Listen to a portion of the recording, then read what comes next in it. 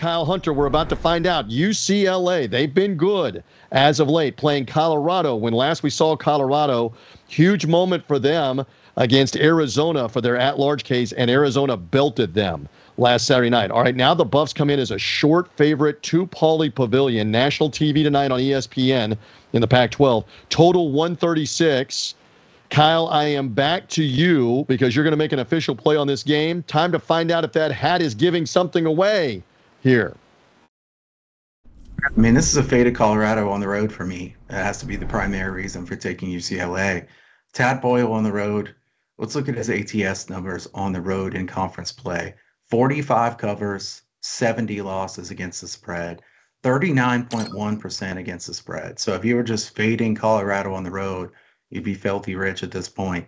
Um, time and time again, they've looked really good at home. I will say, TJ, the only negative I have on this play is I wish they had played a little bit better in the last game. The fact that they were kind of blown away last game at home, uh, maybe they would, you know, be ready to go a little bit more in this game. But in the past, they haven't been ready to go in any of the road games. So uh, I'm not going to bet on it happening here. And what can you say about the UCLA turnaround? Remember that game against Utah? Um, I mean, I had Utah on the show in that game, and I remember checking the final score, Utah and UCLA, and being like, I mean, I can't cannot believe that happened.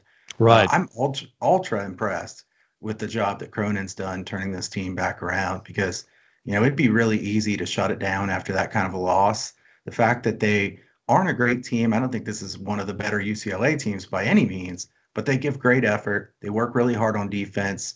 Um, I think that's going to be enough against Colorado on the road. You know, if they're playing in Boulder, this would be a different story.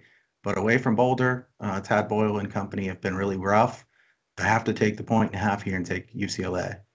And again, the Bruins have now won five games in a row in the conference after uh, taking that beating at Utah. In fact, after the loss, uh, 90 to 44, they lost in Salt Lake City. And I still remember they came out of a timeout huddle like midway through the second half, and Mick Cronin wasn't saying anything and was just staring at the floor when they came back on the floor down by 30. Like, what, what is up with this bunch? Not listening, not guarding, not doing what they have to do. They've obviously Jeff Nadu gotten it back together, and they get a little bit of a bump here at home. They're a home dog. A quick thought on Colorado coming in to Los Angeles to play UCLA the next three game stretch for Colorado will decide their season. And the next two games are important, not for the resume. It's that you can't lose them. Um, this is, you know, whether we, you know, UCLA's been better, but they're still not a great team, and neither is USC. But that game against Utah in a week or so is probably looked at as like a bracket buster game. Both teams on the bubble, both need it. But Colorado's uh, kind of pissed away every opportunity they've had to to get a big win. Um, they're disappointing. That's all they are. I don't want to bet them on the road. I have no interest in them. And against a resurgent group that seems to be buying in, I think UCLA is kind of looking at it saying, kind of related to a horse race. Um, you know, they've struggled over the first, let's say, to the final stretch, and then they're going to kind of kick it into gear when it matters most, and hopefully come out and, and, and be in the running. And I think that's the goal get focused. We're, we're not going to win the regular season title, but we have a lot to play for here still. And they're playing well at the right time. So that's kind of a team I want to buy into, if you will. Um, but, but again, uh, Colorado, just because they need to win doesn't mean they're going to. So, yeah, I agree with Kyle a little bit here. It's hard to bet the Buffs in this spot. They just continue to let you down. Again, for UCLA, they are at home. They don't have an at large case right now at uh, 100 and what, like 107 in the net ranking for what it's worth. Uh, so they they've got they they've got to hone in on win this game tonight, but they've got a couple of important games at Washington State will help them. They're in the top 50 of the net, and Arizona's in the top five of the net for the rematch at Pauley Pavilion late in the year. UCLA can help themselves metrically by continuing to win. I don't know that they can get to an at-large case without the automatic bid in the Pac-12.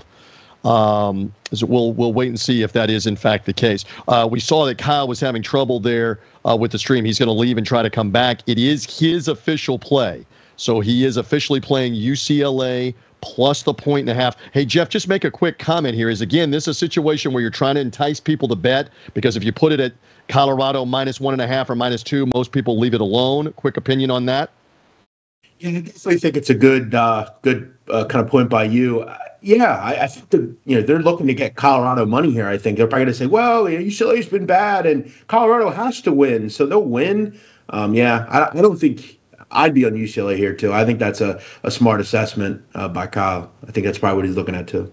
Good stuff. Again, he's looking at UCLA. He's back with us as well. Magic the show. Nice job by Kevin and everybody behind the scenes, making the technology work uh, here on this. So the official play is Kyle Hunter. He says Bruins take the points, essentially saying they're going to win. I just one more quick thought, and then we're going to get to the live Q and A. Did you contemplate just take the money line for the better value, besides just the point and a half because it's only a bucket? Just quick thought on the philosophy.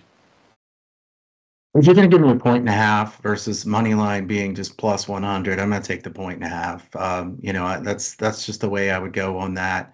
Um, you know, do I like the money line too? Yeah, I like the money line too. And and man, I'm glad I'm looking better. That was a that was a for a minute. I'm watching myself. Usually, like, usually I'm the one that struggles with the looks here on the program. They don't have me here for the looks. I don't know what they have me here for.